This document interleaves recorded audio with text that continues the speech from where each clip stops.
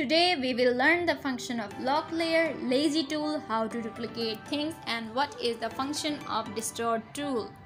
If you draw anything like the circle and you want to shade in your specific drawing, so this is the wrong way. For this you click on layer, click on select and the layer will be selected. Now you can shade in your specific drawing in more accurate and definite manner. So this is the right way.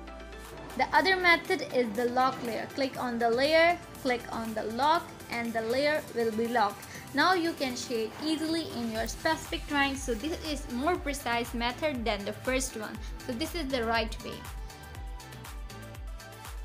If you want to draw anything behind the circle, so this is the wrong way.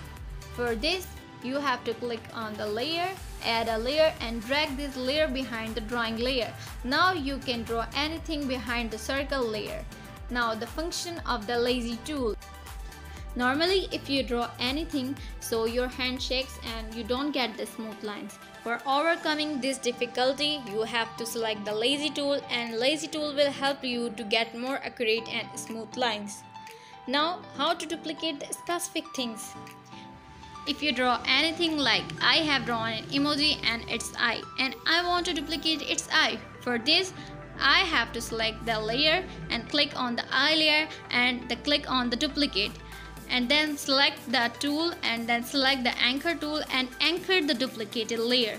And the layer will be duplicated and your eye will be duplicated. Now you can shade your emoji by locking the layer by locking different layers.